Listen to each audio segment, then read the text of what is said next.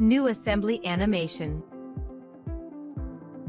ZW3D 2025 reconstructs the Assembly Animation module. The new Assembly Animation module supports timeline animation and the ability to add keyframes. It is also possible to quickly update the state of the assembly and quickly generate animations for different configurations. Explode animations can also be quickly imported into assembly animations to generate complete assembly animations. Next, we use the push-out mechanism of the injection molding machine model to demonstrate the improved assembly animation. Let's go to the interface of assembly animation.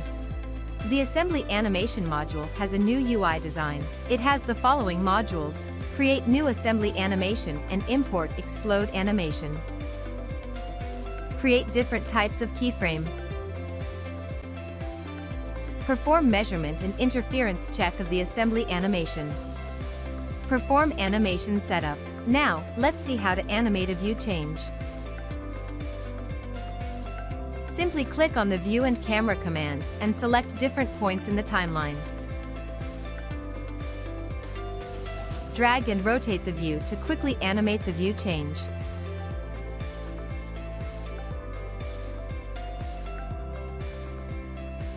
After generating the animation, if we change the display state of the part under assembly, such as color, blank or unblank, etc., and return to the assembly animation environment, the state will be immediately synchronized to the generated animation. At this point, the assembly animation icon indicates that the assembly animation is out of date, and if we need to export the animation, we need to recalculate the animation. The Assembly Animation module of ZW3D 2025 supports various different ways of creating keyframes, such as position keyframes. In this example, we would like to demonstrate the motion of the mechanism. Let the mechanism perform a telescoping motion, and finally let the connecting rod push out. So here we need to modify the parameters of the existing constraints in the assembly by modifying the values of the distance constraints in different keyframes to make the model move. The keyframes can be created quickly by selecting the relevant component, checking the corresponding constraints, and modifying the parameters. Next, let's finish setting the position keyframes for the component animation.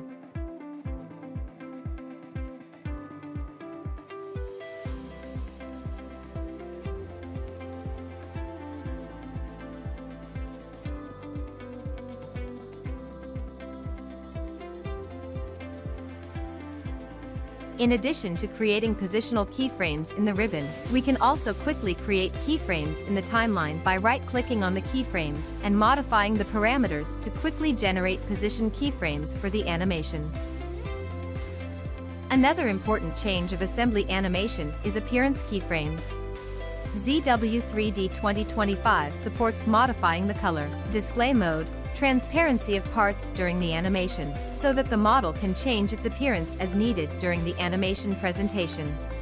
Here we want the columns of this model to become transparent gradually, so that the animation of the mechanism can be more intuitive. Click Appearance to create an appearance keyframe, adjust the transparency, and ZW3D will automatically calculate and generate an animation of the appearance change.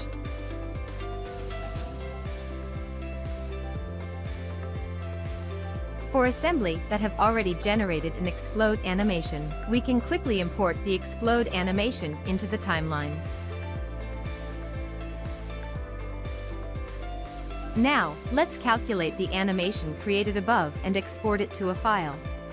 Currently, ZW3D supports exporting to various file formats, such as AVI, MP4, WMV etc.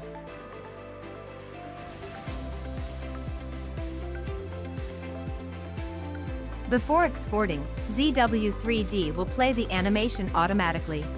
Let's take a look at the animation effect.